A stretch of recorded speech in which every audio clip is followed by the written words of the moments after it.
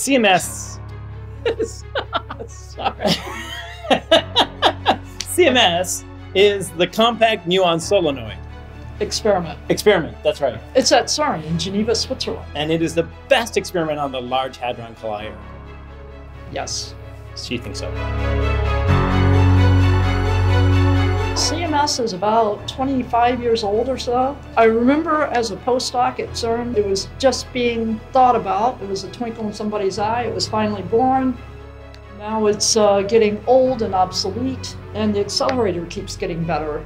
So when the accelerator gets better, it produces more collisions per second, and the detectors have to keep up with that. And that's why we're doing the CMS upgrades.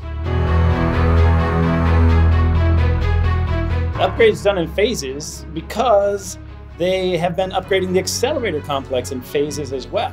And so what we did is when we saw they're going to increase the data rate, we thought, what strategically parts do we need to keep up with that? And we do those first. And then later, they're going to increase it even more by installing a new accelerator.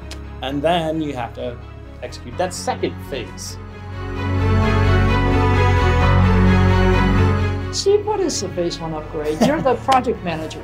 I should know, You I guess. know. Okay, Yeah. so the phase one upgrade is a strategic, actually, set of upgrades of a particular set of detectors that we need to do to keep up with the increasing luminosity at the LHC.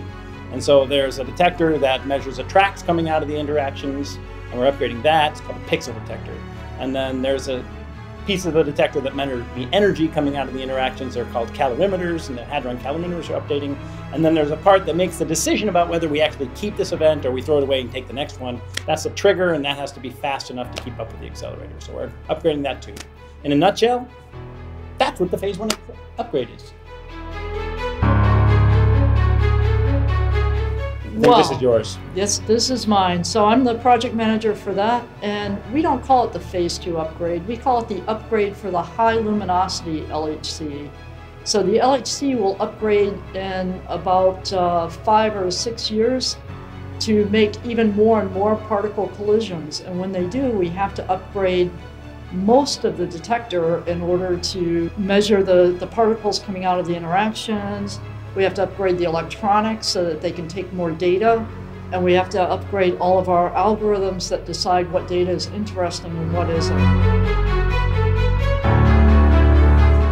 So it turns out that the DOE actually entrusts this kind of job to people at the national lab. So that's why you start out with Fermilab being.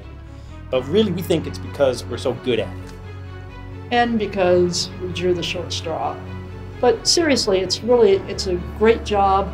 We get to interact with all of the universities and enable them to help them build their parts of the detector, and we get to be a part of the whole upgrade and not just a little piece of it. Yeah, and it's fun. And it's fun. If you redefine fun a bit. Sometimes.